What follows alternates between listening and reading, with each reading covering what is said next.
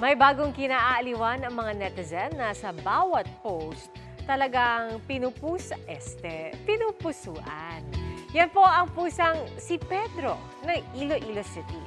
Aba, may bahagi lang naman ito ng security team sa Iloilo Science and Technology University.